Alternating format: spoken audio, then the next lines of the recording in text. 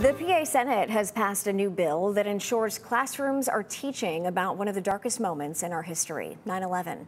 Fox 43's Paola Belloso has more on the bill that hopes to teach the younger generation about a historical event that changed life as we knew it. Pennsylvania schools don't have a 9 11 curriculum that teaches students about 9 11 and its impact. One bill is hoping to change that. The bill is really simple. It directs the Pennsylvania Department of Education to create curriculum standards and materials to make them available to every school district uh, via an online portal.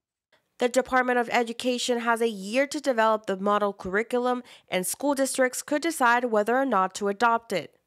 The curriculum would include the historical context of terrorism, details of the terrorist attacks at the World Trade Center, the Pentagon, and the crash of Flight 93 in Shanksville.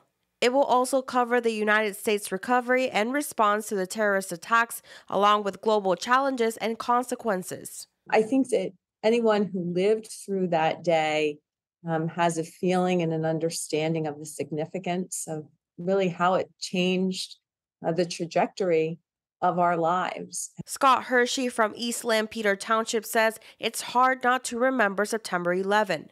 Actually, watching live when the second plane struck, so I watched from that point on. It's probably the longest I've ever watched TV in one setting. Now, 21 years and three kids later, he makes sure his kids know what happened as well. We've we've sat and watched numerous videos about it here at home.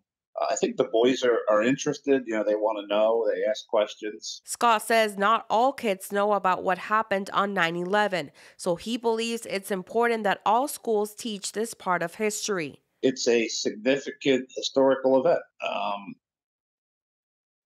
just like something like Pearl Harbor. I mean, it, it really is. It's an attack on our country, and it changed our country.